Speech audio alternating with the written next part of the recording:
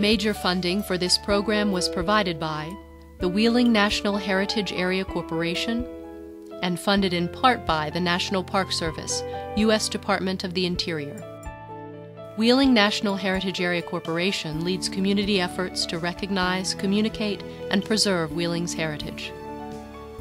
Additional support was provided by the Schenk Charitable Trust and the Community Foundation for the Ohio Valley.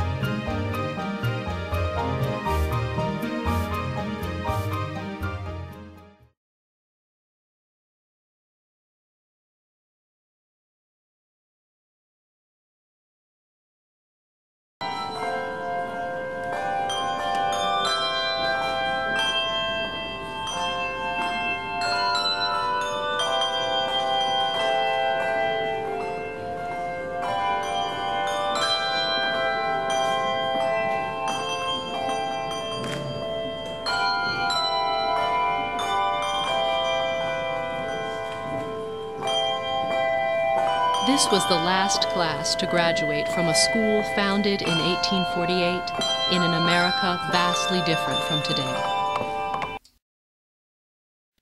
The rise of industrialization had a profound impact upon American society in the 19th century. This new industrial economy was creating more wealth in America and in turn contributing to a rapidly growing middle class there was an increasing need for a literate workforce and educated people to fuel economic growth from the factory floor through the levels of management.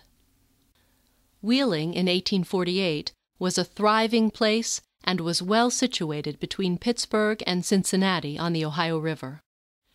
With the arrival of the National Road in 1818, combined with existing river transport, the city was perfectly positioned to develop as a commercial and industrial center. However, Western Virginia was a region lacking in schools. Uh, you're not going to find a very well established public education system. The state of Virginia was not providing public education. It was almost like a county option. And often counties refused to do that because those folks who had money, the, the, the uh, plantation owners in the eastern part of the state or business owners in places like Wheeling, they could afford to send their children to private schools or to have private tutors. With the city's expansion through industrial development came an increase in the number of wealthy and middle class families who wanted and could afford a quality education for their daughters. There were nearby boarding schools that did receive female students, but the closest, West Liberty Academy, was at a distance of 12 miles and only reached over difficult roads. It was an evangelical Christianity that next stepped onto the stage. Richard Vincent Whelan, Bishop of Richmond, Virginia, called upon the sisters from the Order of the Visitation in Baltimore to establish a school in Wheeling. Dear Sister, I have just received the Archbishop's letter giving the names of the Wheeling colony.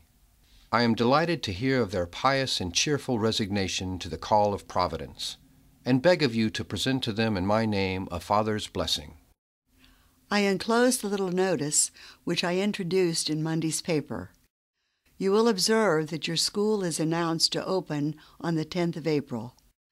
I was induced to make this announcement partly to gratify some who have long been expecting the opening of the school. Your school is quite an exciting topic of conversation in many circles, and your coming is anxiously expected. Most sincerely yours, Richard Vincent, Bishop of Richmond. A house on the corner of Eoff and 14th Streets was purchased to serve as the site of the new Wheeling Female Academy and as residence for the sisters. The sisters traveled from Baltimore to the western end of the rail line. There they transferred to a stagecoach for the remainder of the journey to Wheeling. The visitation sisters who traveled from Baltimore to Wheeling in the mid 19th century um, first went by train to Harper's Ferry and then by stagecoach um, across National Road. Um, those women wore their street clothes as opposed to uh, their habit uh, because of general anti Catholicism, a certain amount of animosity. Um, we don't have evidence of, of you know, bona fide um, attacks uh, against women religious, but that kind of practice, wearing their street clothes when they're traveling long distances, um, is, is quite common during this time period. In anticipation of the new school, a prospectus appeared in the local paper. It provided details and the appropriate encouragements for families to enroll their daughters in a school offering a quality education. While the cost of an academy education for young girls was not cheap, it was affordable. The cost advantage continued to drive an increase in enrollments through the 1850s, and academy education was particularly attractive to many families in other southern states. Another factor in the early success was the very nature of the school. The staff and teachers were nuns. At this time, a parochial school made for a more stable school, less likely to close during times of financial stress. Protestants um, often sought out um, this type of an education, particularly for daughters. Um, I, that, that primarily is because of a limited number of options. Um, in the mid 19th century, there aren't many educational opportunities for teenage girls, uh, and so women religious are providing um, a service that, that, quite frankly, no one else is providing at the time. So there's a, there's a, there's a willingness. Um, it is, it's remarkable, particularly when you, when you familiarize yourself with the hostility toward Catholics in, in the mid 19th century. So I think there is a certain, you know, sort of irony um, in that, you know, Protestants are, are willingly, you know, sending their daughters, um, you know, to these, to these schools. The Academy was experiencing the growing pains associated with its success. Lack of space was becoming a problem. So in 1865, Bishop Whelan purchased the Steenrod Farm, east of the city, for $30,000 where a new convent and school were to be constructed. In the post Civil War years, sufficient materials and funds were not always available, so the construction evolved. High rail fences gave way to hedges, trees were planted, and the grounds around the building were improved and given a measure of landscaping to complement the nature of the undertakings within. The new building was massive, an impressive addition to the rural landscape. No longer the Wheeling Female Academy, it was now the Mount de Chantal Visitation Academy, in honor of St. Jane de Chantal, the co-founder of the Order of the Visitation. Students entering through the academy gate were greeted by the vision of an idyllic place. As one patron stated, it is beyond the city's din, where beauty and healthfulness can scarcely be surpassed. With the new school came a new problem the war had been devastating for the South, and many Southern families now found themselves unable to afford to send their daughters to the Mount. The school responded in 1866 by establishing what was called the Southern Fund to provide financial assistance to the daughters of reduced Southern families who have lost all by the late war. At one point, Sisters of the Visitation journeyed to New York and called upon one William M. Tweed to help secure donations. Boss Tweed provided a list of his friends and associates who he indicated would volunteer to make donations. The trip was successful. The reform minded Horace Greeley, founder and editor of the New York Tribune, met with the sisters on one of their trips to New York. I am so much occupied that I do not see how I can call at 19 West 34th Street this week. But if the ladies will call on Saturday at 4 to 5 p.m., say at 5, at my lodgings, Westmoreland Hotel, corner of 4th Avenue and 17th Street, Union Square, I shall be happy to meet them. Support for the Mount came from many directions. In a brief letter to the sisters, Robert E. Lee expressed his support of their work. No greater benefit can be conferred upon a country than the proper education of its children, and those who help promote this object are well deserving of its gratitude. As the school continued into the late 19th century, it flourished. An expanding academic program adapted to the changing times with more courses in the sciences, mathematics, history, and geography. Meticulous and artful detail in student work is an example of how young women attending the Mount were receiving a well balanced education that went beyond the conventions of the time. Even in geography classes, map drawing was included as a way to solidify their knowledge of world geography. Outside of the classroom, students enjoyed the expansive grounds. Extracurricular life for the students was rich with opportunity. The school would produce elaborate plays and operas, and became an extension of the view that the education of women needed to support the development of the whole person.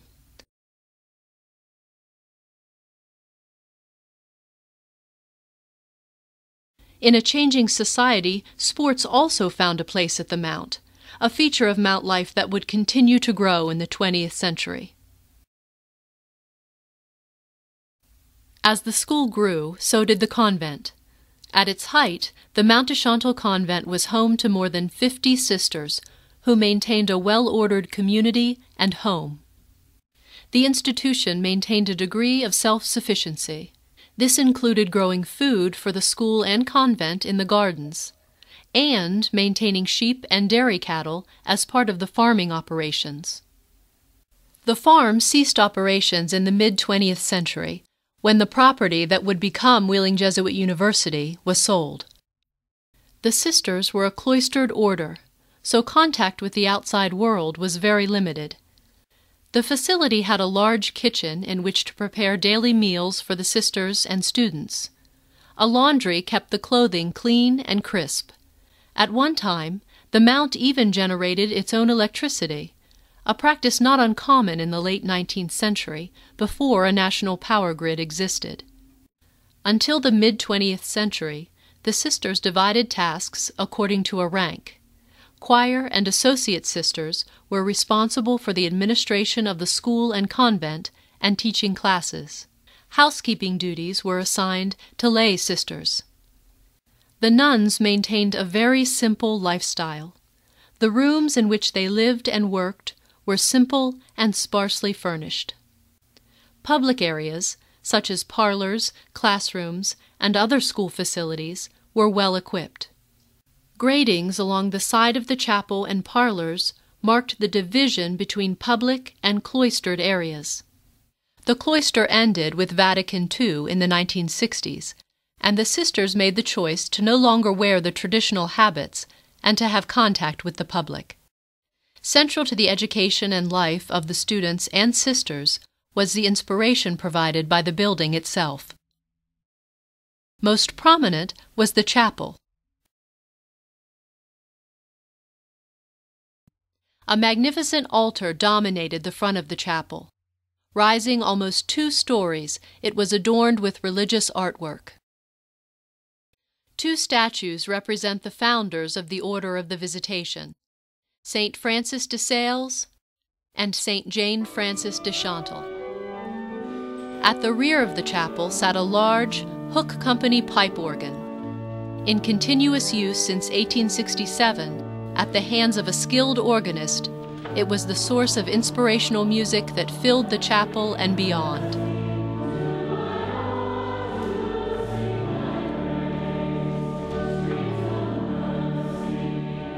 Sunlight streamed into the chapel through the stained glass windows. In a style dating back to the Middle Ages, each window represented part of the story of Christianity and the founding of the Order of the Visitation. Tall, ornate columns extended to support the vaulted ceiling. Perhaps the most impressive feature was the central dome. With its high, arched, stained glass panels, it seemed to suspend an almost dreamlike umbrella of color and light above the altar. In all, the chapel provided a center for the religious life of the Mount. It also offered a place of solitude for reflection, surrounded by an artfully crafted environment of architectural splendor. In the main building, a grand hall ran the entire length of the right wing on the second floor. At the end of the hall was a stage that was used for presentations, plays, and musical performances.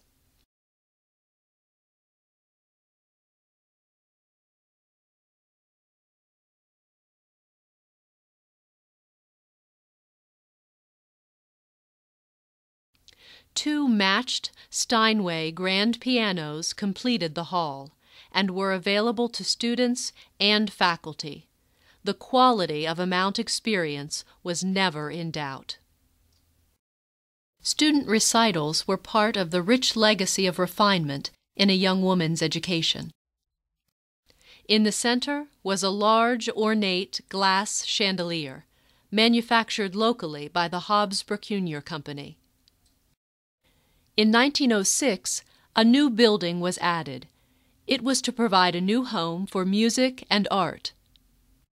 From its early years, the Academy enjoyed a reputation for excellence in music education. Practice rooms were numerous, and each was provided with a piano. Vocal as well as instrumental studies were encouraged. The original art studio, a place of creativity, occupied space in the main building. The upper level of the new building became the art studio. It was designed to provide the most advantageous setting for the student artist. Large skylights bathed the room in a soft, natural light, providing an almost perfect illumination in any part of the studio. This is my torso. I did it my sophomore year. It's, um, well, everyone does a torso their sophomore year, and it's supposed to represent who they are. It's um, a self-portrait.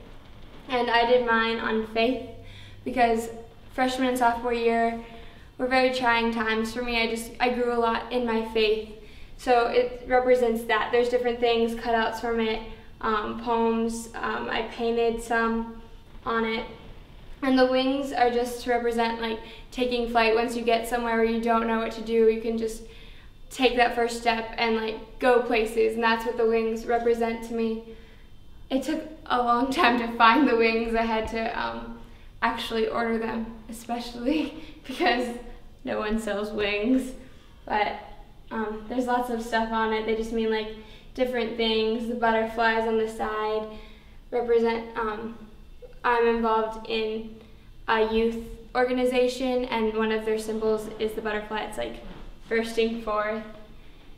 And, um, well, it's just different verses, things that mean things that are valuable to me. So most of it's just sentimental.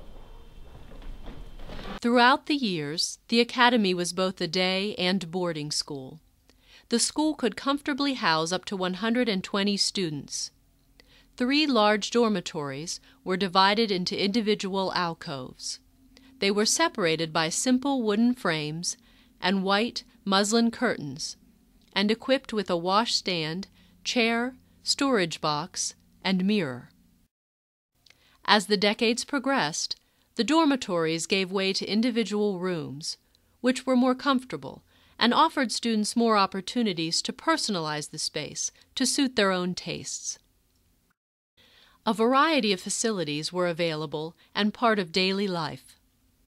A large dining hall could easily seat 100 students at a time.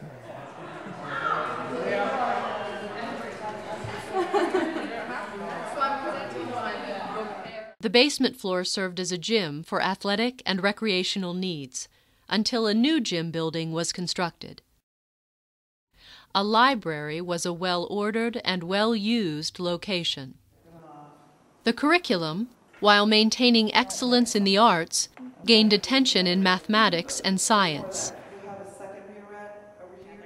Regardless of the era, the Mount continued in its excellence to educate young women. You're, as I said, you're confident in yourself.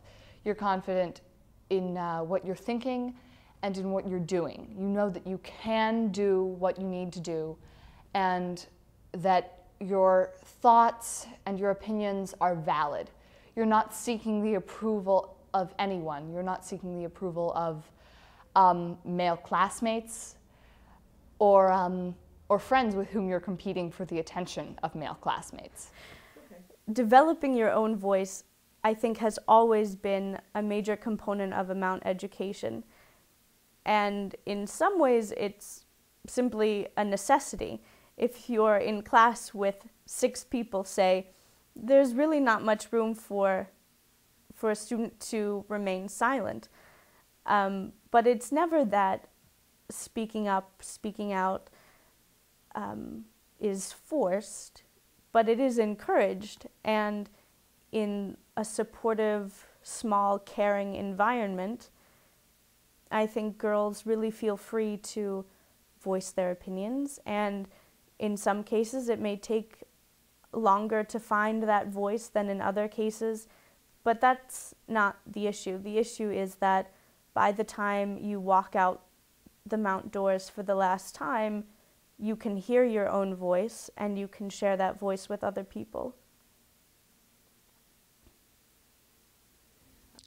One of the long standing traditions of life at the Mount was the May Party, a combination celebration of the arrival of spring and summer, and a chance for the outgoing class and the juniors anticipating their senior year to have some fun.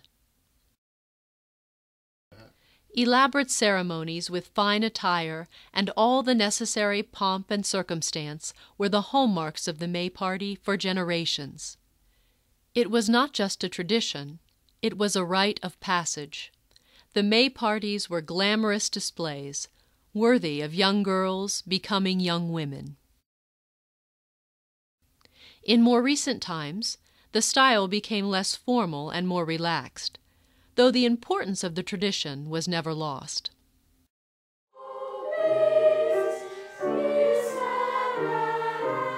With the Mount's reputation for both academic quality and an environment of positive values, it became an important educational option in the community.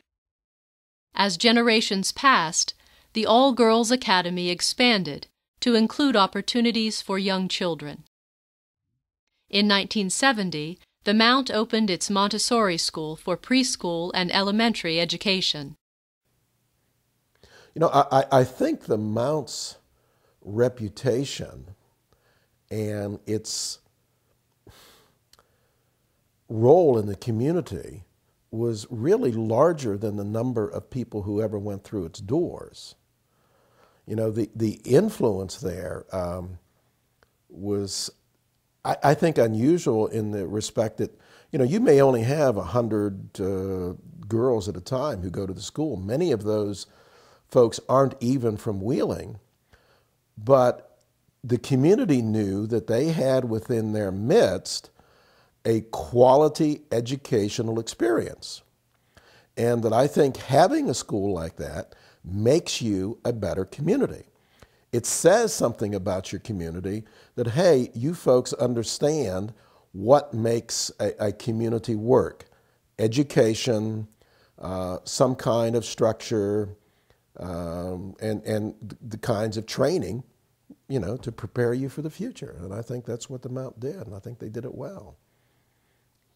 Life outside of the school was also changing, and with the decrease in the Wheeling area population, available public and other private schools, the enrollment of the Mount reached a point where it could no longer stay open.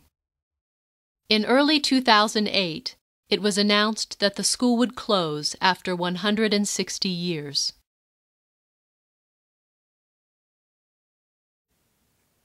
It was clearly recognized as something special. This was not a school like any other.